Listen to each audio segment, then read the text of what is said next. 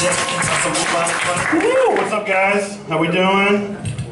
Good, good. Uh, my name is Scott Kavanaugh. You guys probably know me better for my role as uh, caveman number three on the evolution chart. Uh, speaking of roles, I'm fat. Um, I like being fat though. It's way better than being in shape. It really is. You know, I don't have the same problems that in shape people have. Like I never have to deal with this one. Hey, you want to go on a hike? No one ever asked me that, and it's fucking awesome. And if I say yes, dude, they're all like happy for me. They're like, oh my god, Scott's going on the hike. Good for him. Should we all add weight to our backpacks to experience what he's experiencing?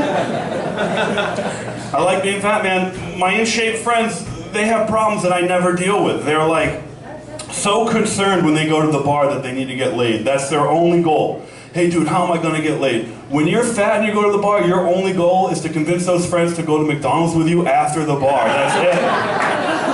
As they get drunker, you just try and make up shit. You're like, hey, a McChicken's only a dollar. They're like, oh shit.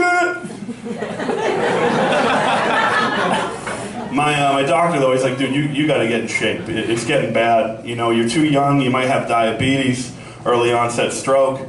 You know, you don't want that at this age. I'm like, you know, you're right. I got to go to the gym. But when I get to the gym, that mentality just flips.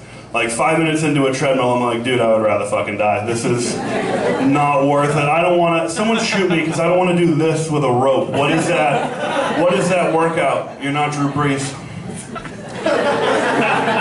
I just, I just can't go to the gym. You know, I don't like the looks that I get. You know, me going to the gym, I get looks like I just walked into a black barbershop and asked for a fade. People are just like, what? this isn't for you. There's a supercuts down the street. Walk there. You should. Um, I don't know. It, it's good.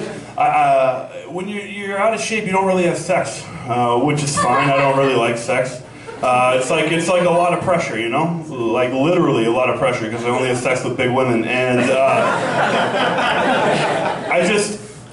it's it's fun to meet girls and flirt with them though, because like my in-shape friends, they don't know really how to flirt because they rely on their muscles. Like a girl will be like, "Hey, what's something interesting about you?" And they'll be like, "Oh, I work out." It's like, dude, we know that, we can see that. You know what I'm saying? Like fat people, we've got we've got interesting stuff. You know, like if a girl's like, "Hey, Scott, what's something interesting about you?" I'm like, "Oh, I snore when I'm awake." Like that's that's something about me.